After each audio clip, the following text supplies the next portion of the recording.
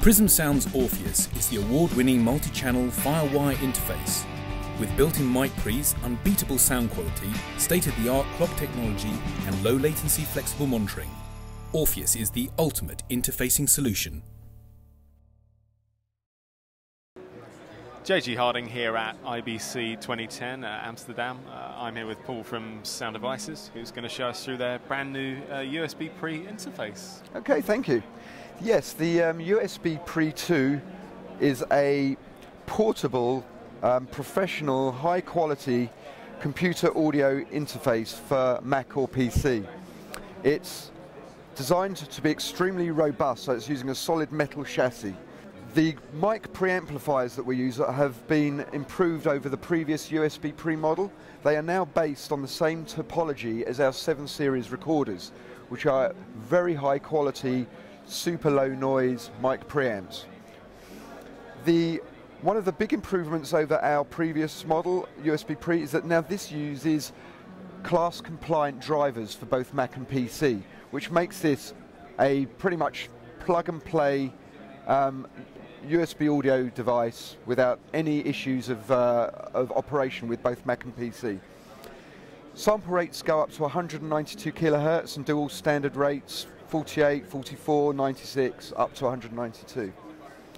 So Another very unique feature about this robust computer audio interface is the really accurate high quality metering. This is very unusual on a USB audio interface um, and it, this helps to give confidence to the user of the, the levels they're metering, because not always is the computer application what you want to see, and sometimes they can be sort of meters on computer screens can be slow. The metering can actually be switched between monitoring the inputs or the PC playback. And there's a switch here that does that. Now let's have a quick look at uh, connectivity. Here are the two mic preamps. Each mic input has phantom um, high pass filters, a pad, a 15 dB pad, and a limiters. And a limiter is a pretty unusual thing to have on a USB audio interface. There are also balanced line inputs and consumer level line inputs. On the output side, we have our USB audio connector for connecting to the computer.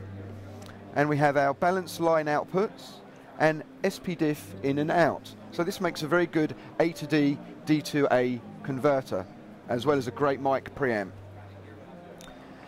On the rear of the unit, we have balanced XLR outputs, which can be set to either mic or line outputs. So if you really want a high quality playback and robust playback interface from playing back from your computer, this is ideal.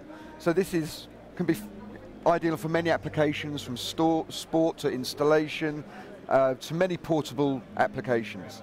And it can also run as a standalone unit, can't that's it? That's correct, yes. So you do not need a computer to control this.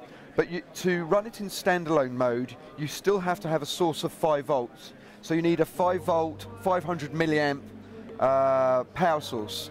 So a couple of batteries with a USB plug on adapter would, could power this unit. And then we have a portable uh, mic preamp A to D and D to A converter.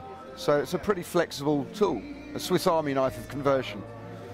Excellent. I can see it would be useful for somebody doing yeah. recording location sound, for example. Uh, location sound test and measurement applications, acoustic measurements, uh, sports broadcast for where they're recording into a laptop but then want to very quickly send that signal via IP back to a studio. All these portable scenarios. Um, one thing which I haven't mentioned is this mix control. This can be used to monitor either the direct signal coming in, which is great for zero latency monitoring, or monitoring the playback signal coming back from the computer, um, or the, the, the, loop signal coming back from the computer. You can mix between the two, so for overdubbing purposes, if you want to add a track to a backing track, so it can be used in a standard music environment as well. Um, so that's pretty much it. It's a very simple tool. There's no special software required. It's just plug and play into a Mac or a PC. And it's compatible with Mac's Leopard and higher, so 10.5 and higher. Yeah. And uh, PC's uh, XP and higher. And uh, do you have a UK price set yet? Yeah, it's around the 650 euro mark. Excellent. Well, thanks very much for taking us through it. No problem.